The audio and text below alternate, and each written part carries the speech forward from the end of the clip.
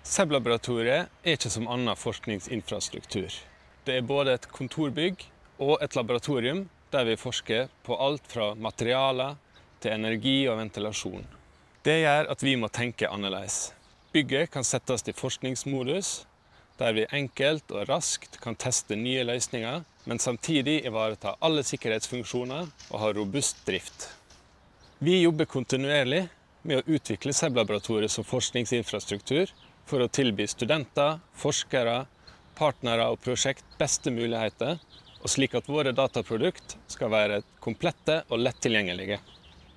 Her på SEB-laboratoriet har vi samlet data for luftkvalitet i de siste tre årene. Og vi har brukt den data for å prøve å tenke hva gjør vi i dag? Hvordan kan vi bruke den til en bedre styring av ventilasjon? Helseskader pga. luftkvalitet regnes til å være 8,1 trillioner dollar per år. Og det er omtrent fem ganger kostnader for oljefondet. Luftkvalitet påvirker ikke bare helse, det påvirker vår trivsel og vår ferdighet for å gjøre den jobben som vi må gjøre. Her på Tvillingrom vi har akkurat to identiske rom, hvor vi kan utsette folk for forskjellige miljøparametere og se hvordan de påvirker deres ferdigheter. Vi har funnet ut at folk som er eksponert til høy støv, de, har, de svekker dine muligheter til å gjøre regning. Vi har sett at formaldehyd påvirker dine egenskaper til å lese. Så hvis vi tilpasser kontroll av ventilasjon til akkurat de aktivitetene som du kommer til å gjøre, det kommer til å ha en mye bedre ytelse, og det kommer til å lønne seg.